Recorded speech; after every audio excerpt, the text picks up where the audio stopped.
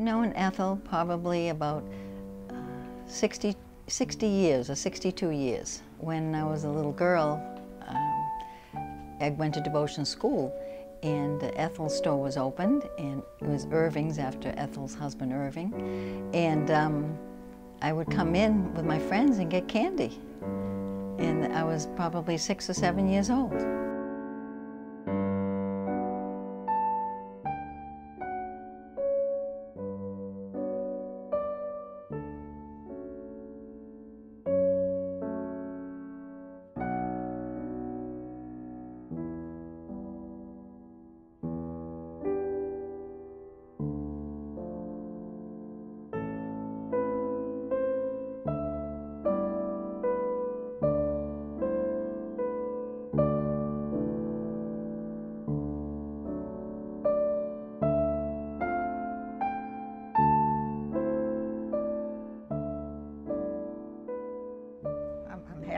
Find it.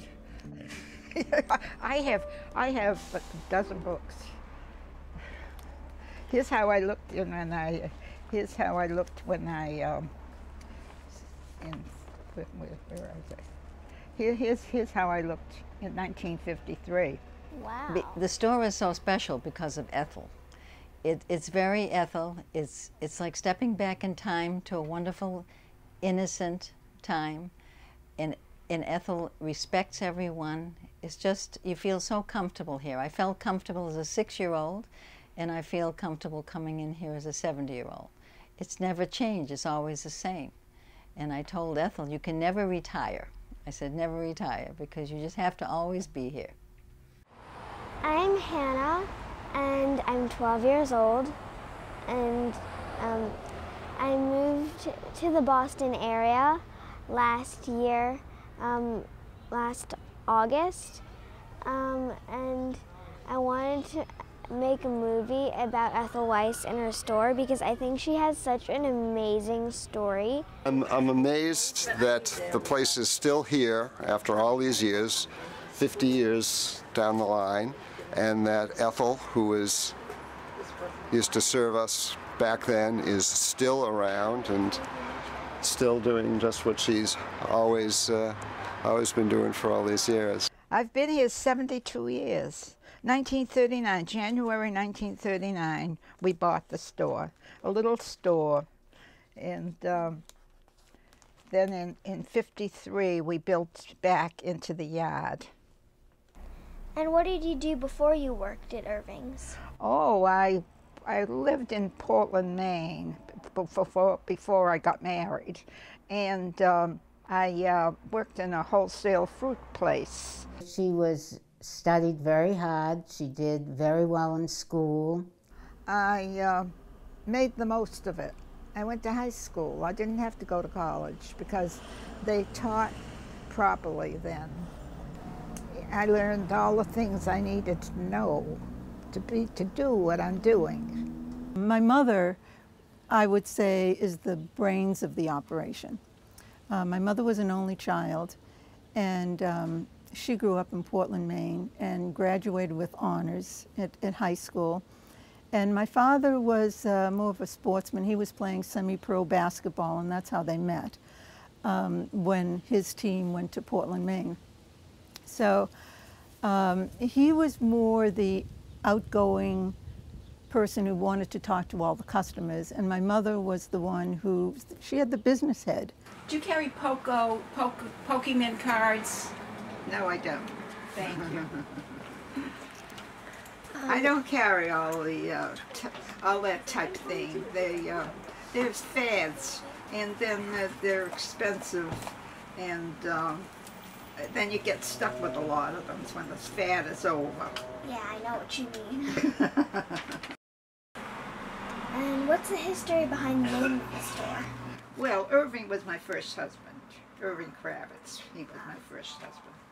And uh, Irving was working s- in a wholesale uh, on a sausage place, and he lost his job during the uh, union arguments, and uh, so uh, he was working with somebody who lived around the corner, and who knew this store was for sale, and uh, we were able to scrape up the money to the, the small amount of money that was necessary to buy the business.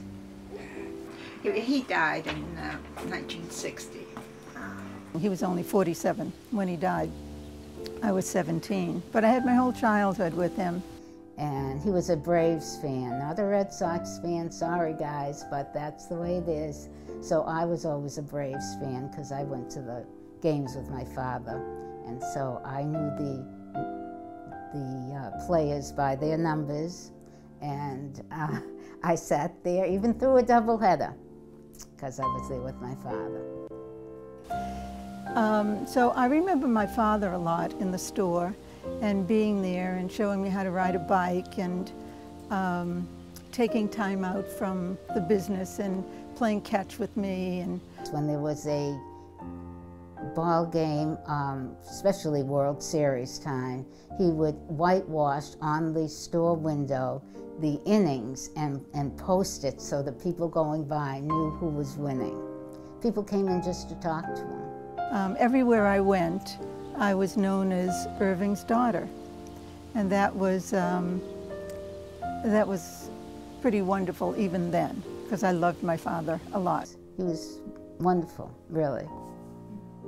Uh, well, the store started out mainly as a grocery store, and then um, it over the years it changed into being more of a toys and uh, candy and that kind of thing, more things for children. There was a big expansion. I think it might have been um, in the 50s.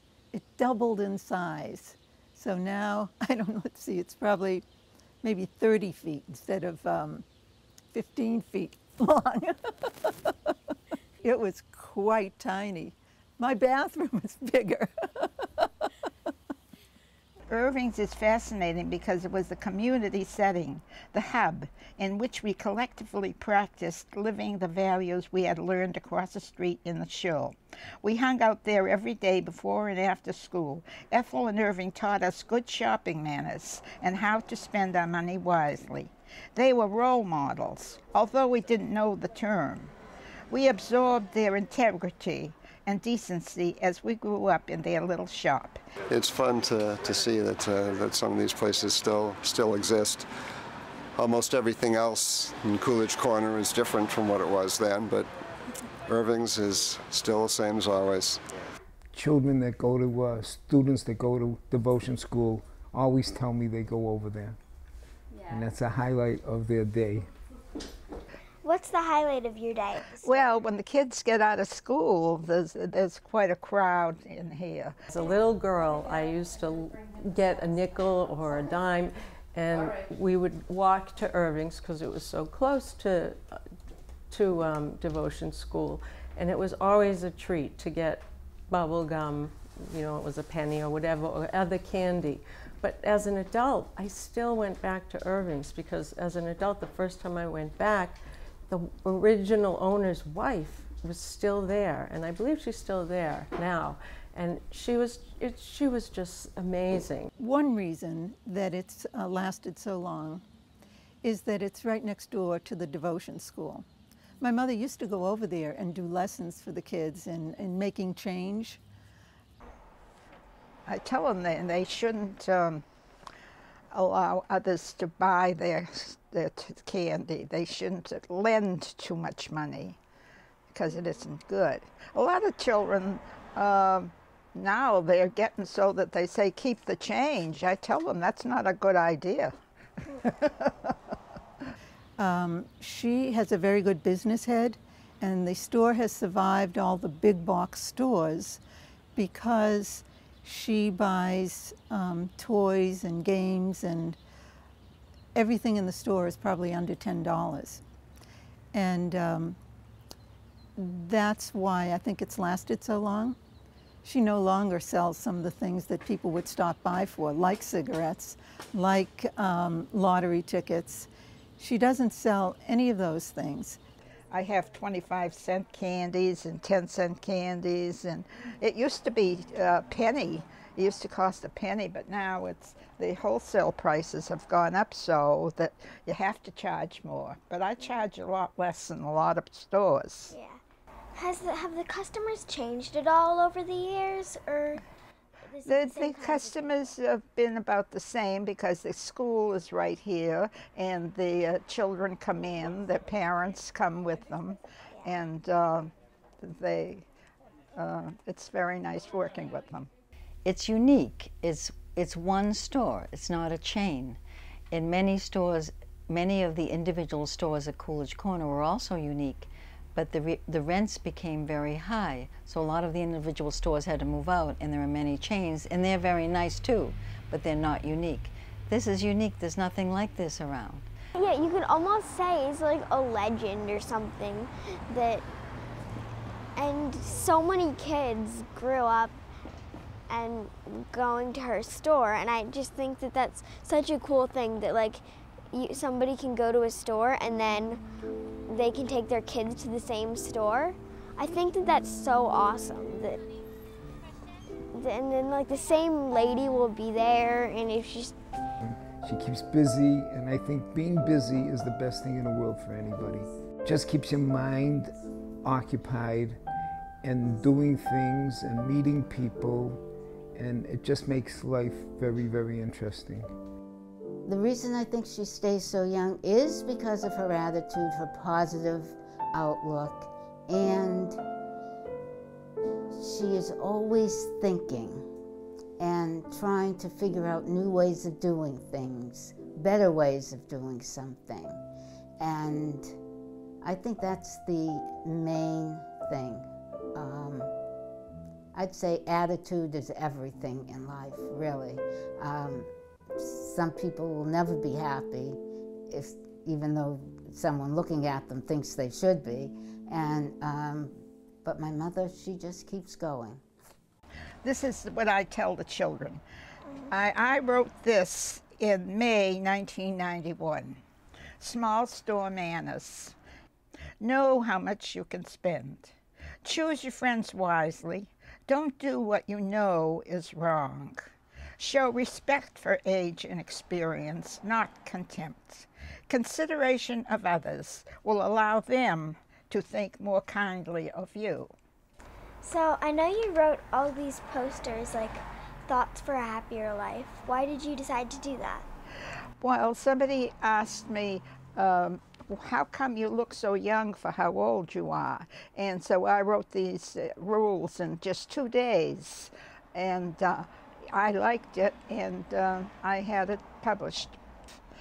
I, I sell them most every day because I autograph them and I say to their name and and um, uh, uh, you know with happy thoughts or uh, and Brookline and the date. I love meeting the nice people that come in, and I encourage them to read my posters, and uh, they buy the poster and I'm happy about it because I want to spread goodwill and good behavior.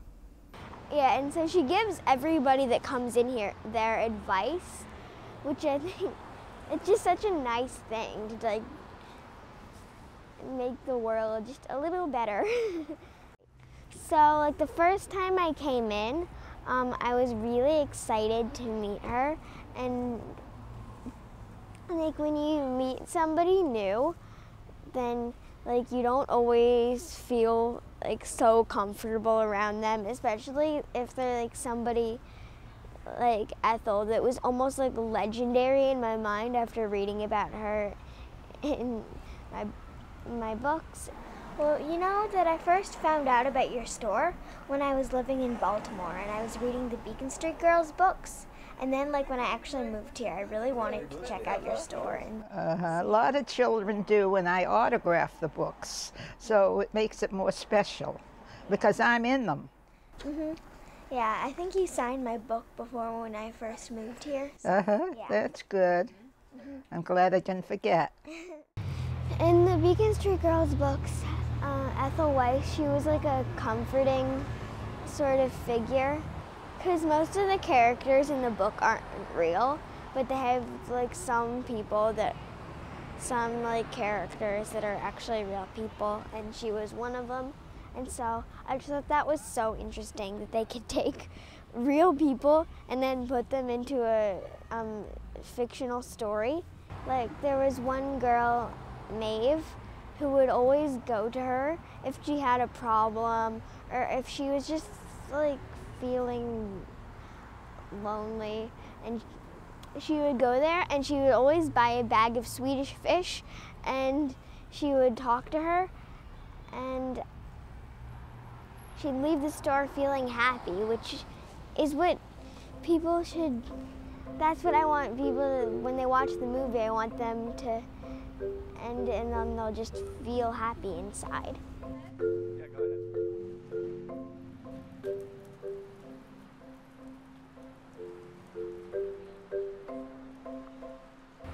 I thought it was so awesome that we could make a movie and I was 11 years old at the time and that just seemed like something that was that would just be so cool to be